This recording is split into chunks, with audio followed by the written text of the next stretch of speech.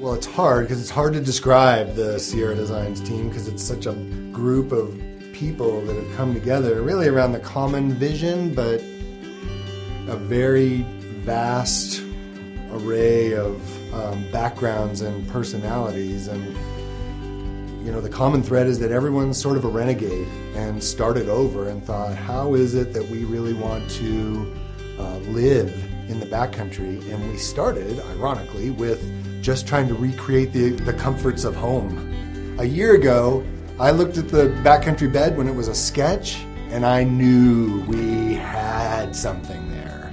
And I was like, no, this is gonna obsolete the mummy bag. It wasn't that we tried to remove zippers from a sleeping bag, we started a new way of sleeping and never had to add the zipper. You're gonna sleep like you never have before, your shelter is gonna be a fundamentally different way to live. We've worked really hard to make it simple and honest and straightforward so that use the gear in a way that allows it to just disappear and allow them to focus on why they came out there. When they see the product and they see the site to, to say these, these are people are really passionate about what it is they're doing. Hopefully they can tell by seeing it that you know the love and the energy and the, the pain that we put into every single thing that's out there. I hope that comes across so people feel like yeah, this is something that I can really connect with.